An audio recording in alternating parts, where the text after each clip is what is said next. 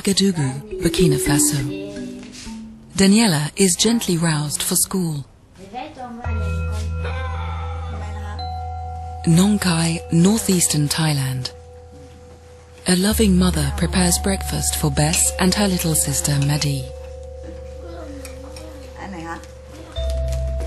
In the collective subconscious, Louis Pasteur pioneered vaccination when he saved a young shepherd who'd been bitten by a rabid dog from certain death. A grim assessment. 120 years later, rabies still kills.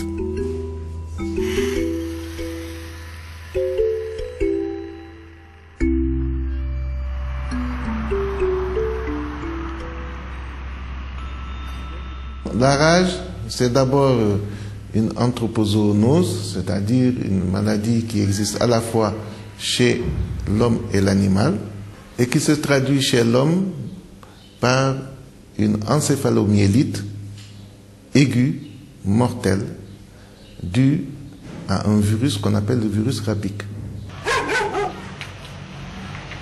Rabies follows by exposure. The exposure usually from dogs and cats. We can say that dog is the main reservoirs and dog is the main transmitting vectors since uh, as many as 97% of the disease is caused by infecting dogs. Les symptômes de la rage sur l'homme, d'abord, je vous dirais qu'il s'agit d'une maladie infectieuse. Donc, euh, il y a la fièvre qui est là. Il y a d'autres manifestations générales comme les maux de tête. Mais surtout, il y a un signe qui est dominant dans la rage, c'est l'hydrophobie, la peur de l'eau. Ça, c'est dans la forme typique. Mais il y a d'autres formes cliniques, comme la forme paralytique, qui va se manifester par des paralysies des membres inférieurs. Il y a également la forme démentielle. Là, il s'agit de quelqu'un qui présente des signes de folie furieuse et qui agresse parfois même le personnel médical. The evolution of disease, we can say that it starts from the first one is the incubation period. This period means that the virus does not do anything. It just remains at the site of the inoculation. And during this period of time, then we can prevent the disease to happen. We can give the vaccination, then we can give the rabies immune globulin to neutralize the virus at the site of the bite. And then we can save the patient. So, so once the disease appears, I mean, once there is just only the symptoms of rabies, then we cannot treat uh, the patient at all. Une fois déclarée, la rage est toujours mortelle.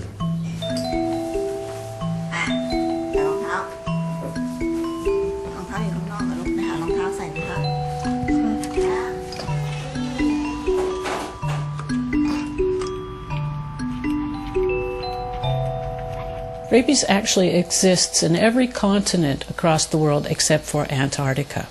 In fact, there are over 55,000 people that die every year of rabies, and this is probably an underestimate. When you see in Thailand, we use post-exposure uh, 400,000 cases per year. We have 60 million people in Thailand.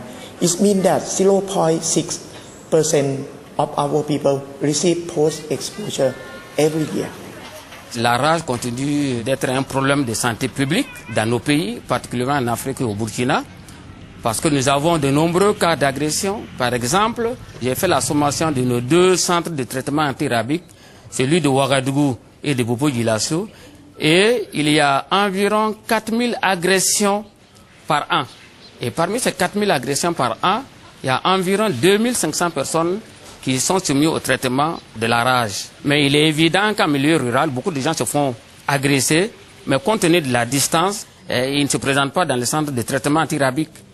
Probablement les 4000 que je vous ai donnés, il faut multiplier peut-être par 10.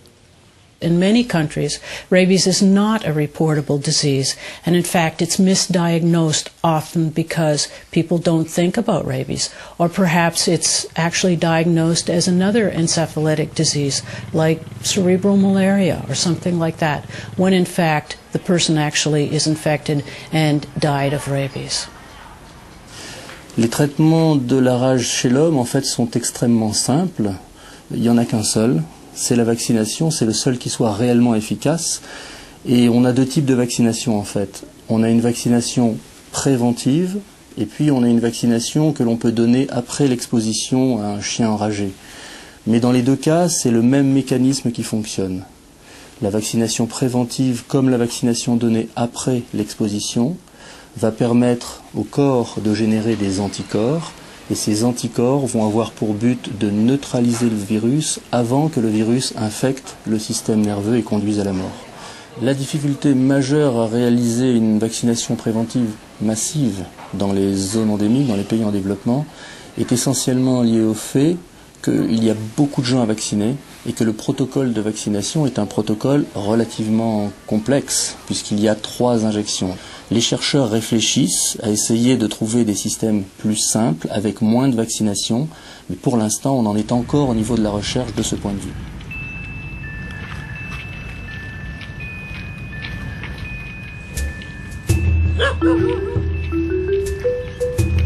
Although she's in daily contact with dogs that may carry the virus, Daniela, like Bess and Maddie, has not been vaccinated.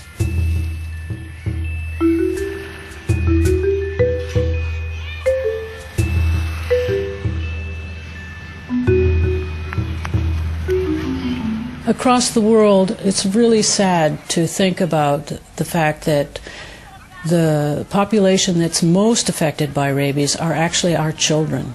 In fact, 40 to 60 percent of the deaths occur in children less than 15 years old.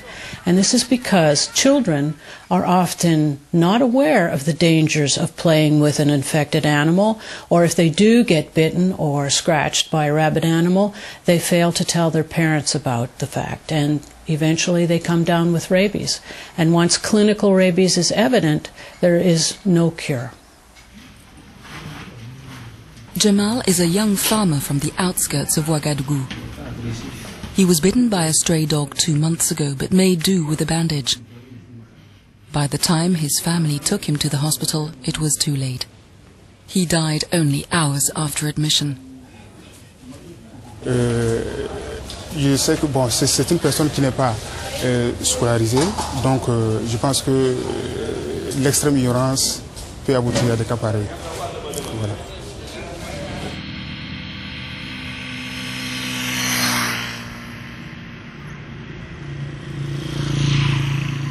Malheureusement, les agents de santé ne connaissent pas bien les procédures de prise en charge en cas de morsure.